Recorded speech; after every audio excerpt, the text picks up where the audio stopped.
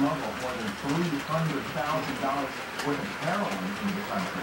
We learned today that Customs and Border Protection officers arrested Julius Cassiano of Hazleton last Saturday at Dulles Airport in Washington after he arrived from Bolivia. Officers say they discovered 27 plastic wrapped packages of a brown powdered substance suspected of being heroin stitched into the lining of the man's pants. Well, we have several stories today about how the holiday this year has changed for many people still recovering from the September flood. Nearly four months after Wyoming was hit hard by September flood, 40, 40 FEMA mobile home units are now set up in a brand new neighborhood right outside Trinidad. And all this was built from nothing. New streets, new electric, sewage, all in just five weeks. Several families moved into today. I wasn't gonna have a Christmas because I couldn't have anybody at my house. So now I could plan ahead. Plus I lost all my Christmas ornaments and everything, but to start over again, we had each other. Flood victims could stay in the home for a year and a half from the time of the disaster declaration. In the same community at church will not only be rejoicing the birth of Christ this weekend, but also celebrating its own recovery after the flood damaged the house of worship. Newport 16 Jim Murdoch said parishioners were decorating the City Jubilee Church in Comparative, something they did not think they would be doing after what happened in September. This is what downtown Tunkhannock looked like in September. Outside the Nativity BVM Church in Tioga Street, as much as two feet of water came inside the church. And this is what the inside of the church looks like now, just days before we reopened just in time for Christmas Eve Mass. This part of Wyoming County was devastated by the floods, but parishioners made sure Christmas Mass would go on. It's unbelievable. I mean, it just it tugs at your heartstrings because there's been so many volunteers involved. Without the volunteers, without the, the staff and the help, and of course the pastor for coming out. We need to do that today. Matches have not been held inside the church since the September floods. This building had 18 inches, 18 to 24 in some spots. The altar had 8 inches, uh, which meant the entire basement was flooded. The flood happened just two weeks after a major renovation here at the church. The carpets had just been replaced, the pews already finished, and new marble by the altar. And then the worst.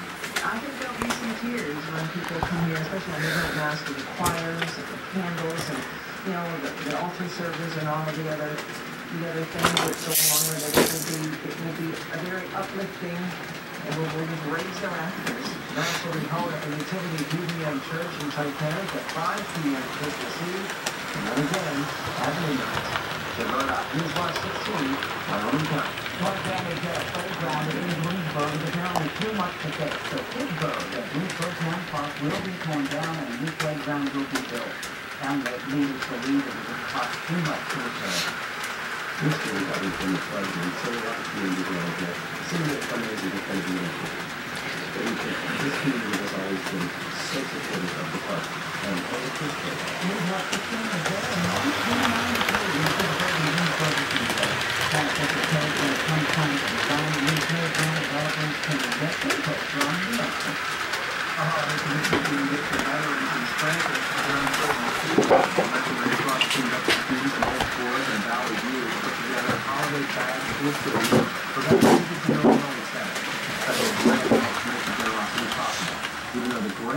be available next year, organizers hope donations from the community can keep the program going.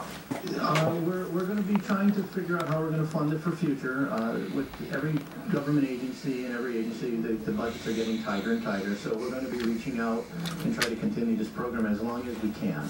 The American Red Cross says it takes about $15,000 a year to run the Gifts for Veterans program in Scranton.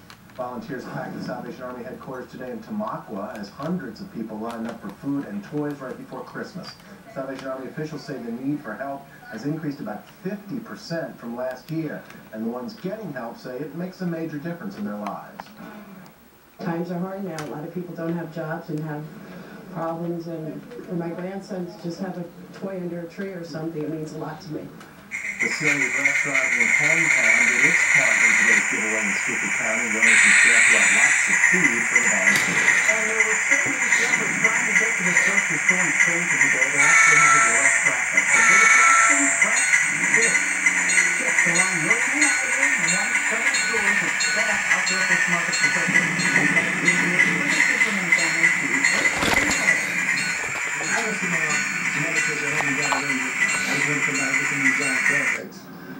Fairbanks if you're in Mountain.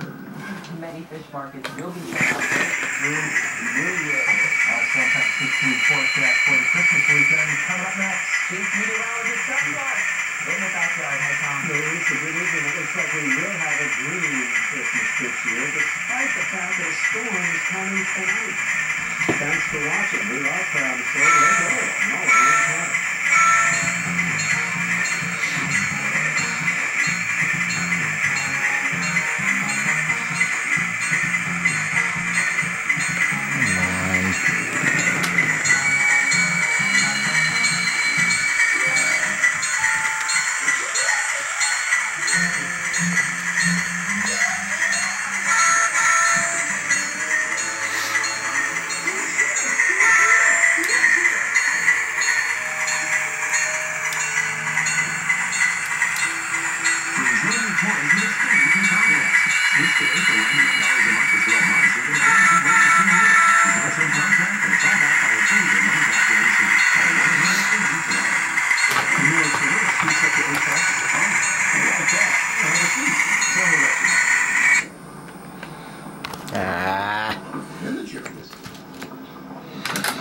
Okay.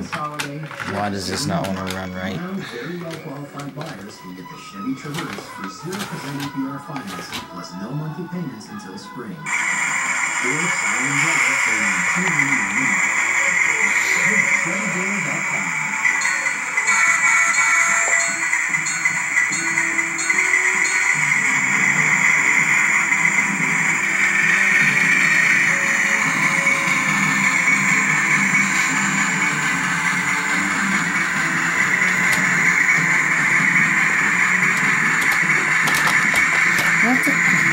Why does this not want to work?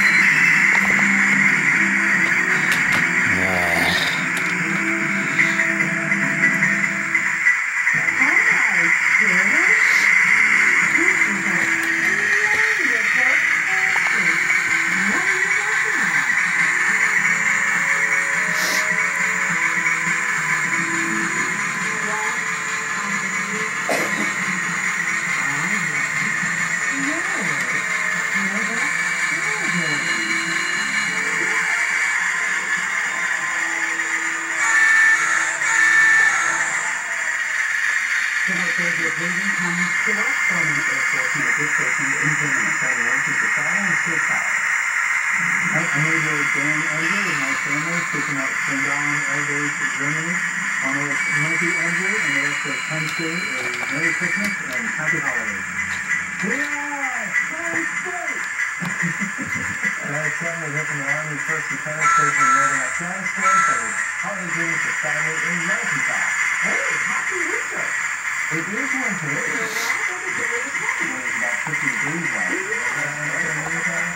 Yep, a solid start to the winter season this morning. Uh, let's see, at 12:30 this morning with uh, the winter solstice. So, uh, happy winter. Uh, temperatures today, what, uh, 10, 15 degrees above average. Look at that, 39 today. The normal high is 36. The regular is 60.